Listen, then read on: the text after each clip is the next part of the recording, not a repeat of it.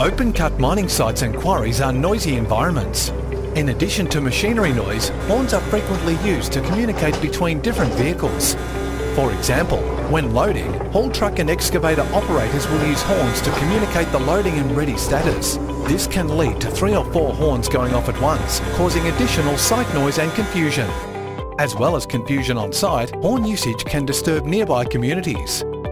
If the disturbances continue, complaints can become more frequent.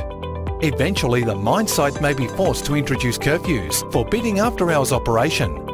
The limited hours place unnecessary pressure on employees and machinery operators. Having machinery only running half the time is an inefficient way to operate and may even affect revenue. Hummingbird Electronics stepped in and provided a win-win opportunity that provided the quality of life for the community but also efficiency on open cut mine sites. The Hummingbird Electronics silent horn keeps the alarm localised to the cabin only, reducing mine site noise pollution. Our system can be paired one-on-one or as a team. An excavator can be paired with a haul truck, for example. Since Hummingbird's silent horn generates no external noise, the community can't hear it. This allows the construction company to carry on with their work throughout the night. With increased operable hours, productivity increases.